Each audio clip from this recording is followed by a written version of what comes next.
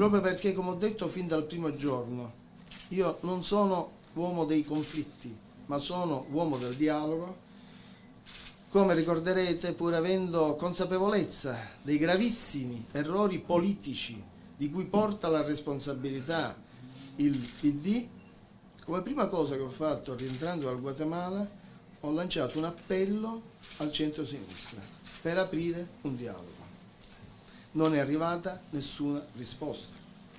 Ma siccome sono non solo un uomo del dialogo, ma anche un uomo piuttosto paziente, ho rinnovato l'appello una seconda volta, proprio perché io, noi, abbiamo quel senso di responsabilità politica che difetta invece al PD.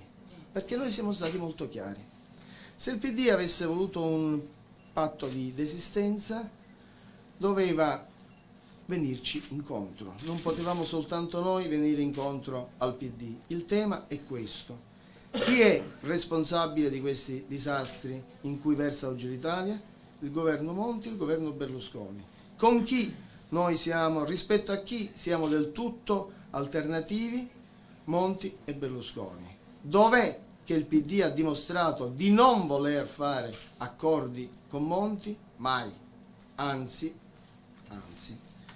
Proprio nei giorni in cui Bersani avrebbe potuto chiedere ed incontrare il leader di rivoluzione civile se avesse voluto aprire quel dialogo, mentre aspettavo quindi di vedere Bersani, ho saputo che Bersani incontrava Monti e non si è neppure degnato di una risposta ai miei inviti.